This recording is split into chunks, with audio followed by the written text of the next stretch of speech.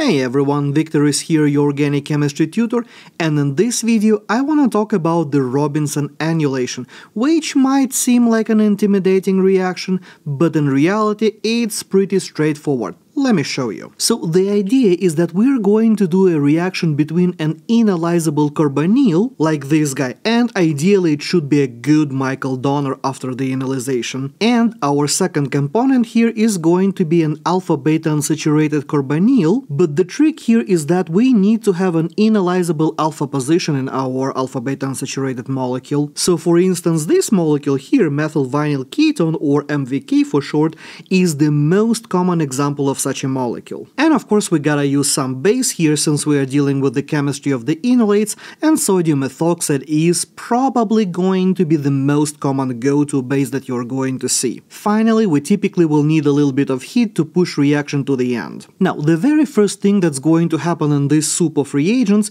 is that my base, sodium ethoxide, is going to go after the most acidic proton.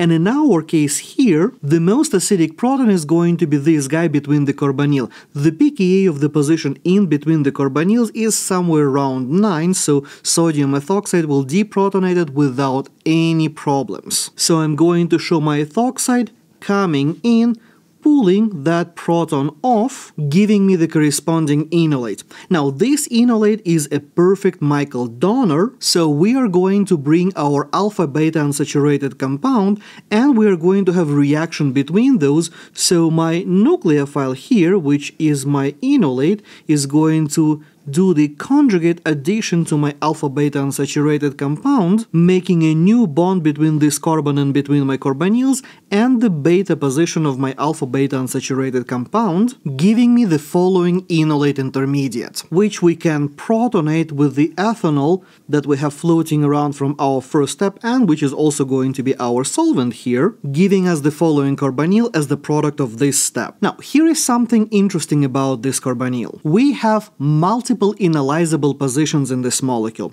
We have two identical blue positions, we have this green position which we just had as an enolate, and we also have this orange position on the end of the molecule. And since we are still working in basic conditions, nothing really stops us from re-enolizing this molecule in one of those positions. We already had the green one, it doesn't really get us anywhere from here, but if we re-enolize the orange position, then we are actually capable of doing the intramolecular reaction here by essentially attacking one of those carbonyls, like so, and in this case we're going to end up with one, two, three, four, five, six-membered ring. So let me draw this part of the mechanism properly without using any shortcuts. So step number one here will be to take one of the protons that we have in this position and pulling it off with our base like so, giving me the corresponding enolate, and now this enolate can react with one of my carbonyls, doesn't matter which one I choose, they are absolutely identical, but now we are going to end up making a new bond between this alpha position and the carbon of my carbonyl, and as I've mentioned before, that is going to give me a 1, 2, three, four, five, six membered ring. And once I do that intramolecular nucleophilic attack, I'm going to end up with the following negatively charged intermediate, which we are going to protonate with our solvent. Then we are going to bring our base back to re-enolize our molecule, making our enolate, and finally from this point we are going to kick our leaving group out, giving us our final product. So in a nutshell, Robinson annulation is just a sequence of the Michael addition followed up by the intramolecular aldol condensation. That's it. You just got to remember that we are following the steps in this order and then you'll always be able to get your products. So for instance, let's look at this example.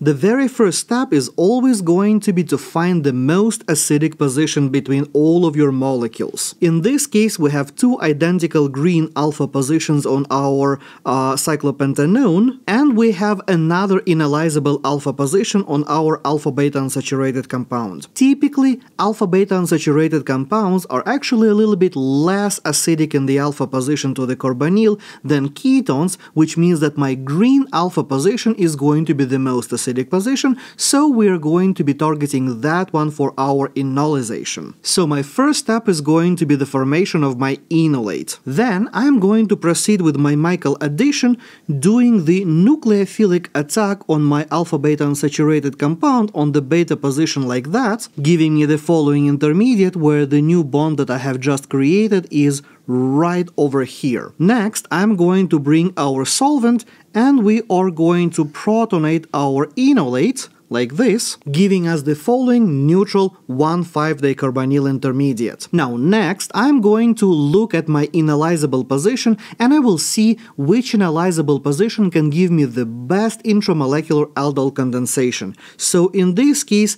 I have the pink alpha position, then let's say we have this green alpha position, then I have my blue alpha position, and I have the orange alpha position over here. Now the pink alpha position to our other carbonyl, well, that interaction is going to give us a very awkward reach over the molecule, so that is not a good choice, so I'm going to cross it out. My green alpha position, if interacting with the carbonyl, is going to give us a four-membered ring, so that is not a good idea either. The blue alpha position is going to be able to interact with this carbonyl, but that again gives me a four-membered ring, so I am not going to go with that one. So finally, my orange alpha position, when that one reacts with my carbonyl, is going to give me a 1, 2, 3, 4, 5, six-membered ring. So that is the alpha position that I am going to enolize in this case. So I will keep all of my brainstorming bits and pieces here. I will redraw this molecule anew and now I can show the protons over here in the alpha position, bring my ethoxide, enolize that position like so, giving me the following enolate intermediate, and now this molecule can react with my carbonyl like that, giving me a 1, 2, 3, 4, 5, six membered ring by making a new carbon-carbon bond between carbon number 1, which is my alpha position over here, and the carbon of my carbonyl, the carbon number 6. And as a result of our nucleophilic attack here, we are going to get our six-membered ring, where the carbon number 1 is over here, so this is my carbon number 2, 3, 4, 5 and 6 and the new bond that I have just created is right over here between carbons 1 and 6. And from this point is just all the normal steps in our aldol condensation. So we are going to protonate this negatively charged oxygen, get our aldol, then we are going to re-enolize this alpha position. So I'm going to bring my ethoxide back pull that proton off like this, make my enolate intermediate, and finally this enolate is going to kick our leaving group out and give me my final product. And another thing that you can always remember about the Robinson annulation that in your product you are always going to see the six-membered ring with the alpha-beta unsaturated moiety in it in the final structure. That is always going to be a signature of the Robinson annulation reaction. So if after you are writing your mechanism you didn't get that piece, you did something wrong because Robinson will always give you this piece. The rest of the molecule can of course be all over the place depending on what your starting materials are, but that part of the molecule is always gonna be there. Alright, moving on, how about this example? Now, as usual, we are going to start by finding the most acidic position between all of our carbonyls, and in this particular case, the best, most acidic alpha position is going to be right over here between our carbonyl and the phenyl group, because that enolate can be additionally stabilized by the phenyl group, so it's going to be forming much easier than anything else in this system. So I'm going to go ahead and make an enolate from that position, and now now I can bring my alpha beta unsaturated compound and start on my Michael addition part of the mechanism. So the nucleophile is going to attack the beta position of my alpha beta unsaturated compound, making a new bond between my alpha position and my beta positions over here, giving me the following enolate as my intermediate and the new bond that we have just created is right over here. Now from this point, like before, we are going to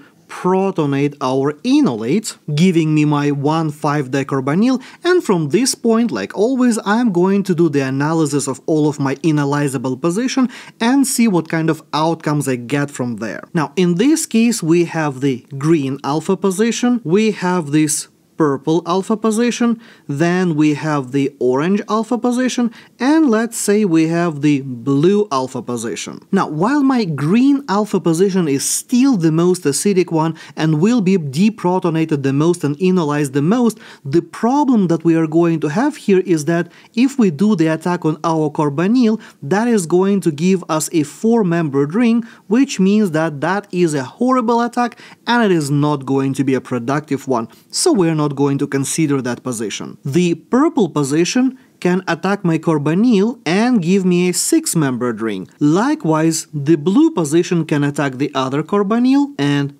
also give me a 6-membered ring.